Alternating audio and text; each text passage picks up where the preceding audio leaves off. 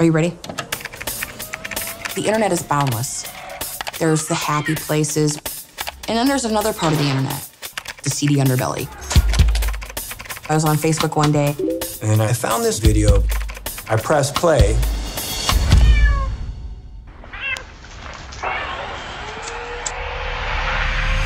It was the worst video I've ever seen. He needs to be stopped immediately. People went nuts. So we started looking. He could have been anywhere on the planet. This person wants to play a game of cat and mouse, and I'm up for that. There's a lot of information in the video. You see a door handle, electrical receptacles. Everything pointed to North America. But then You hear some voices. it was Russian. Oh, maybe he's located in Russia.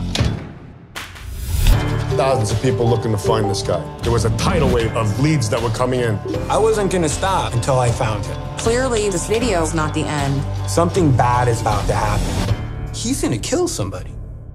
All of a sudden, another video appears.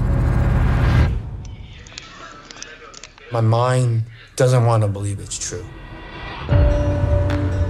These are the things, the telltale sign of somebody that's going to become a serial killer. We had a ticking time bomb on our hands. Twisted story that keeps twisting. What I'm seeing is impossible. He's going to get the attention of the world now. Two mysterious packages. Le dépeceur de Montréal. An international manhunt.